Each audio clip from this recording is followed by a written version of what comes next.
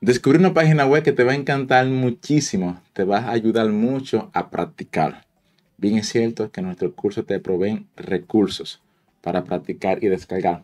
Pero qué tal que una vez termines el curso y que necesitas, ¿verdad?, conseguir tus propios recursos para recorrer tu camino, ya sea como fotógrafo, ilustrador, diseñador gráfico, editor de video.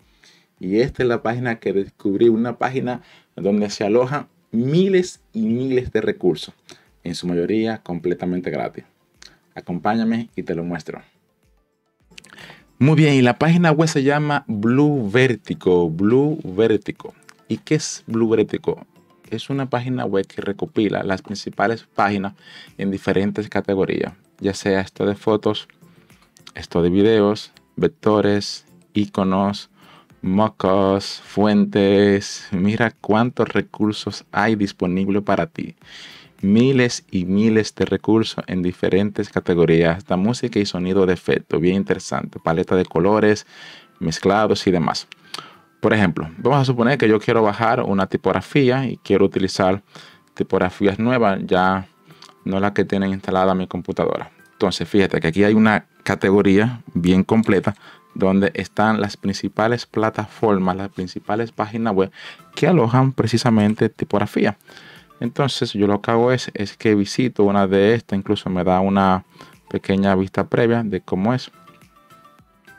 Le doy un clic a una pan y automáticamente me manda a esa página web.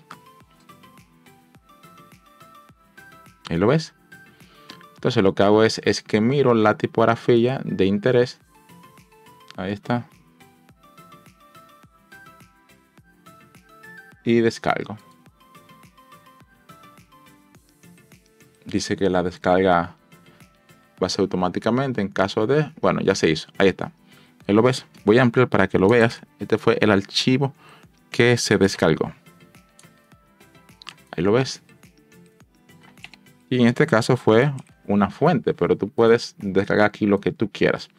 Bien, logos, brochas en Photoshop, Lightroom preset, LUT, modelos tridimensionales, eh, plantilla para web, es verdad, hay muchos recursos en diferentes categorías. No importa que seas ilustrador, diseñador, fotógrafo, hay recursos para todos.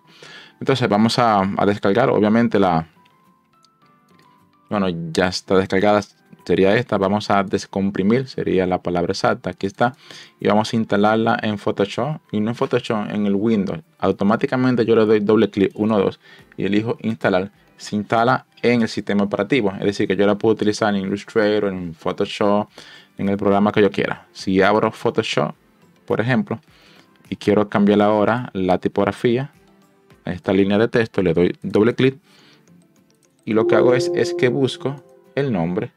El nombre, a ver, es Saldina Free Demo. Ok, entonces la busco así, con la S.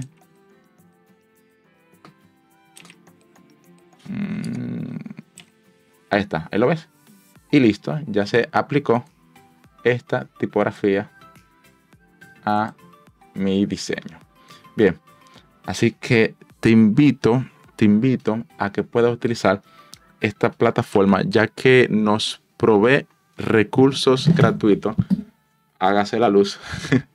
recursos gratuitos para practicar y descargar.